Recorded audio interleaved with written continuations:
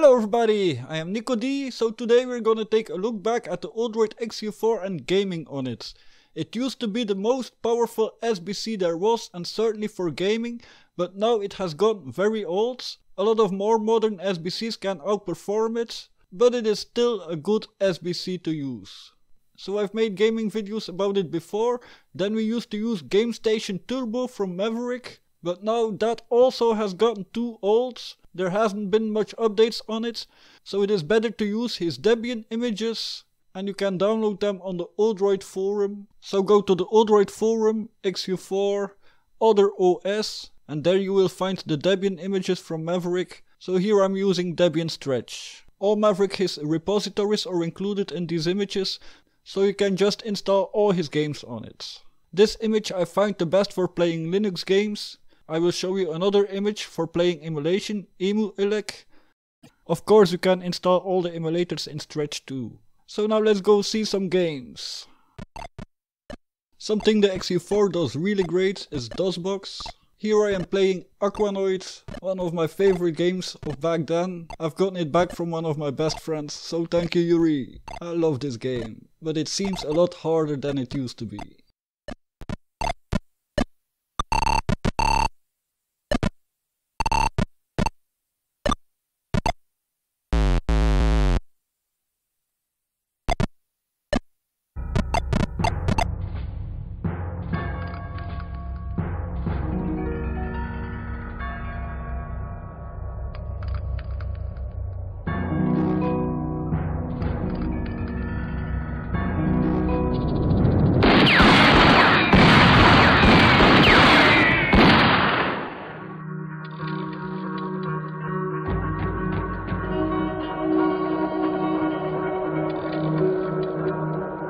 But why we really want to use Maverick his image is of course the Linux games.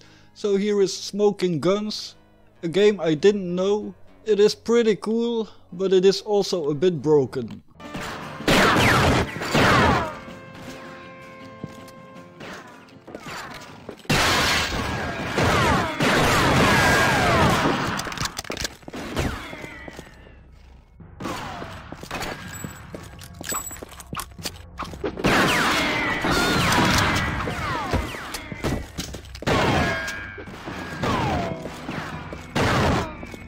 One of my favorite games here is Edgecraft Championship. It is really an awesome racing game. For these games the Odroid XU4 really is great. You cannot play these on the Odroid N2, so for that the Odroid XU4 is still the best Odroid for Linux gaming.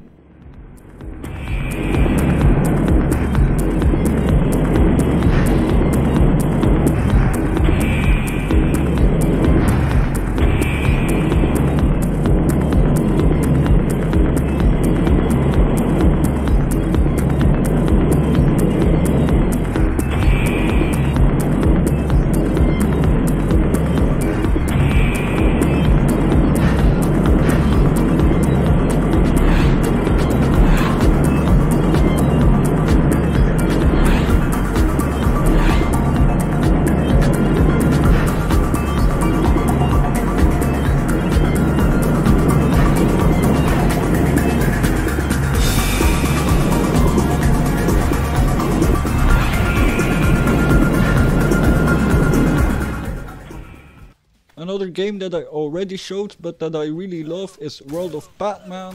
I love the vibrant colors in it, it is really great.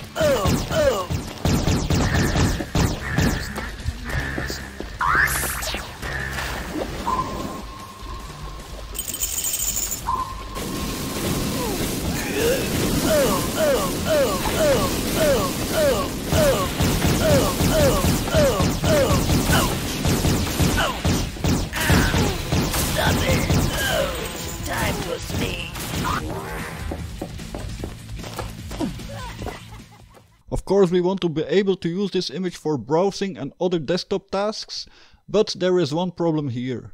So Chromium and also Firefox don't seem to work, so for that I am using Vivaldi browser. So to download Vivaldi browser we type in this, then we install it, and I open Vivaldi with these flags, so with this it is hardware accelerated so video playback is really great at 1080p. That is something that didn't used to be possible in the GameStation Turbo.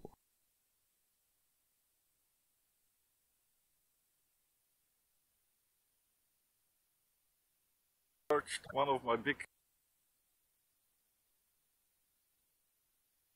batteries over there, so uh, that's not necessary. I don't know where I go today, but we'll see.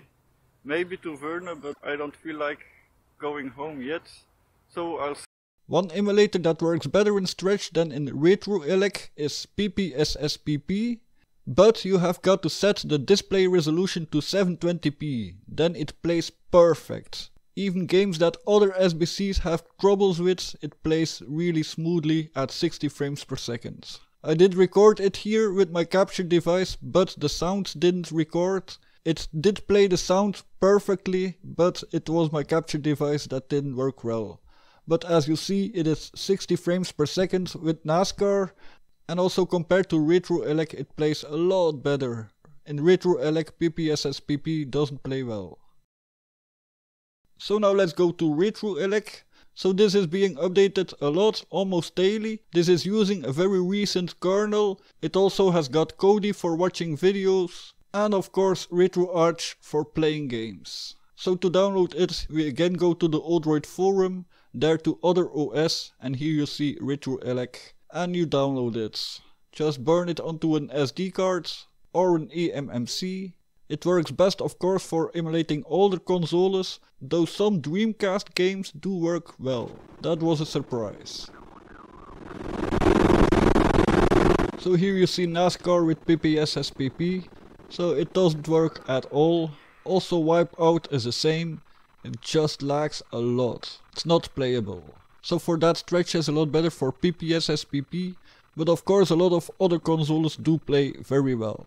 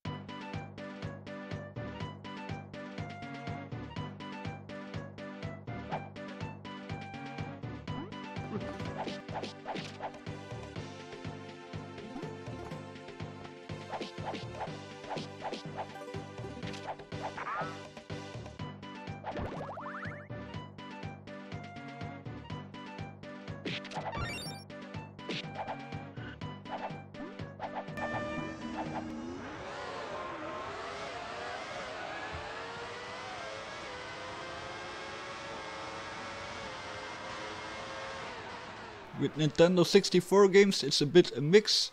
Some games do work well, some others don't. But that's the way with most SBCs and Nintendo 64 games. Nintendo 64 is very hard to emulate.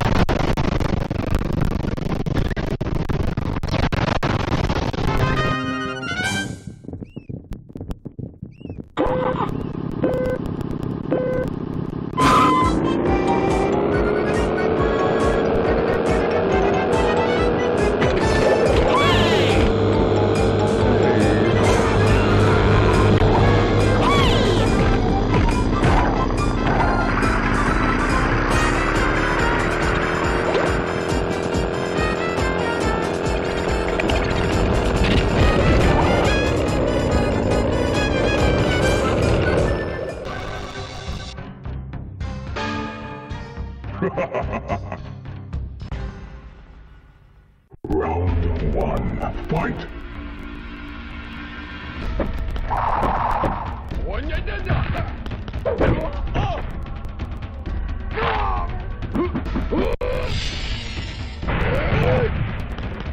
Oh!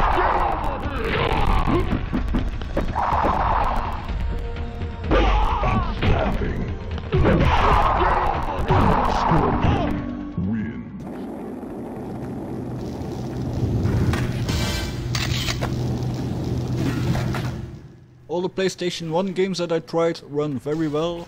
So here is Tony Hawk Pro Skater 2. With PSX the XU4 doesn't have any trouble.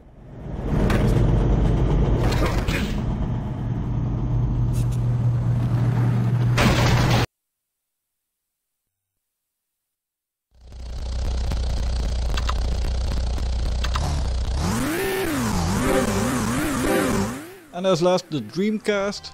So some games do work well, some others don't. Here is Aqua GT. It isn't perfect, but it is almost playable.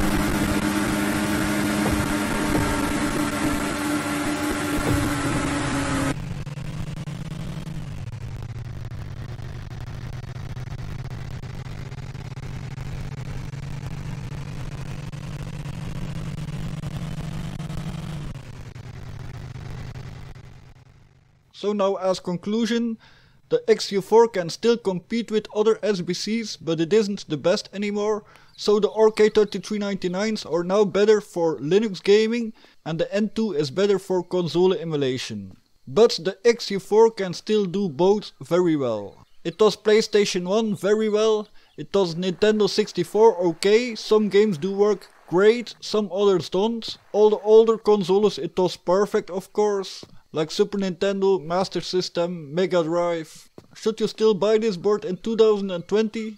If you really want it, yes, but the RK3399 is a lot better overall, or the N2 if you only want to play emulation. So that's it for today, I hope you all liked my video, please subscribe to my channel, see you all later, bye!